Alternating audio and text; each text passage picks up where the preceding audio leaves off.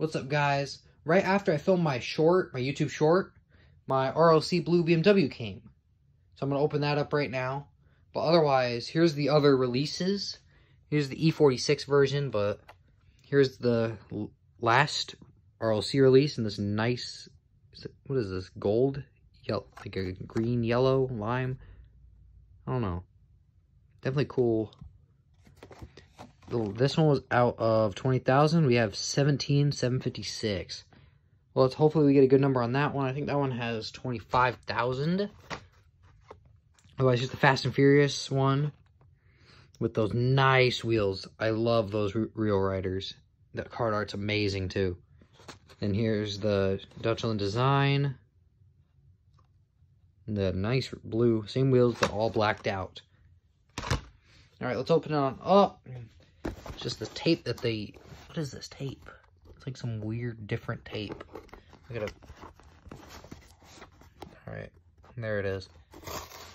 Alright, let's see what number this BMW is. Hopefully it's a good number.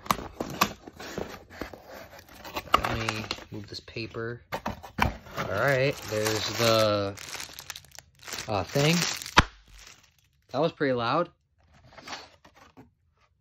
Here it is, the blue BMW.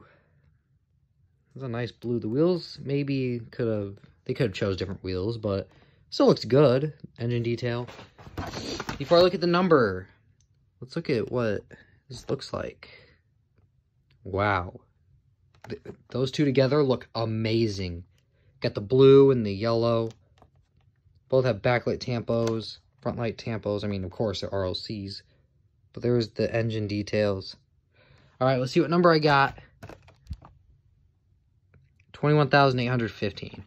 All right, not that good of a number, but at least it's not...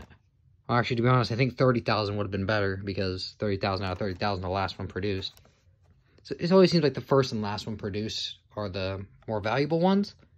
Like this one, 2006, so 2006 would probably be a good number too. Otherwise, pretty short video today. Well, I had my short and this. But I do have some main lines coming in that I got from silent auctions on Facebook. So those should be coming soon. That'll probably be my next video unless I can find something else to do. Otherwise, I'll see you guys in my next video.